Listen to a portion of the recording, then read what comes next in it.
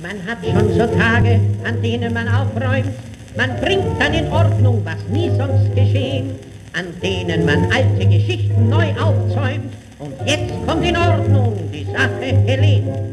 Vielleicht soll ich sagen und weinen womöglich, mein Traum, du, ich liebe dich unsäglich. Ich bin dein Sklave, dein Wurm und dein Knecht. Geht, Fräulein Lenschel, das wäre Ihnen recht.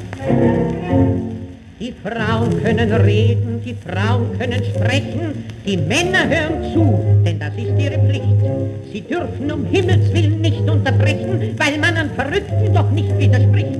Das ratscht wie ein Wasserfall, oft ganze Wochen, bei Tag und bei Nacht, ununterbrochen. Im Reden sind Frauen das starke Geschlecht. Nicht wahr, meine Damen, Sie haben immer recht.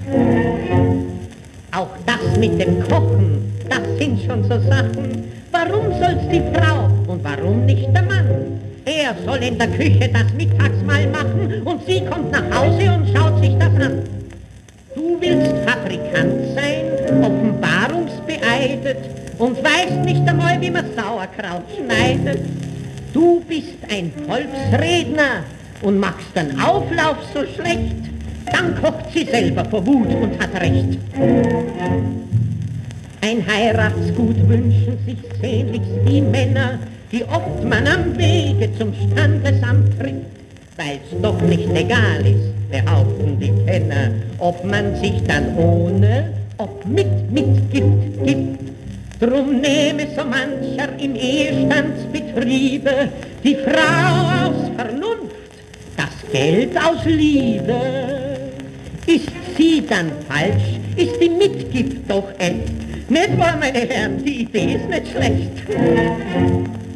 Es schwärmt ein Mädel für flimmernde Schemen, den Hansen zum Beispiel findet sie göttlich und smart.